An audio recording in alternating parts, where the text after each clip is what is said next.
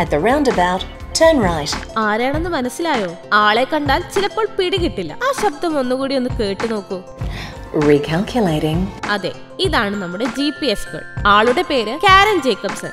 സിറിയുടെയും G P S ഉപകരണങ്ങളുടെയും പിന്നിലെ ആ സ്ത്രീ ശബ്ദം ഇവരുടേതാണ്. ഒരു റൈറ്ററും ഗായികയുമായിരുന്ന കാരന് അമേരിക്കയിലെ പോപ്പ് സംഗീത ലോകത്തെ കൊടുങ്കാറ്റായി മാറാനായിരുന്നു ആഗ്രഹം. എന്നാൽ പണ്ടൊരു സ്റ്റുഡിയോയിൽ ടൺ കണക്കിന് വാക്യങ്ങൾ നോക്കി വായിക്കേണ്ട ഒരു ജോലി കാരൻ ഏറ്റെടുത്തിരുന്നു. അന്ന് അതിന്റെ ഉദ്ദേശം വളരെ രഹസ്യമായിരുന്നു. പിന്നീട് വർഷങ്ങൾക്ക് ശേഷം ഒരു സുഹൃത്ത് വിളിച്ച് നിങ്ങൾ ഞങ്ങളുടെ ജി പി എസിലുണ്ട് എന്ന് കാരനോട് പറയുന്നത് വരെ.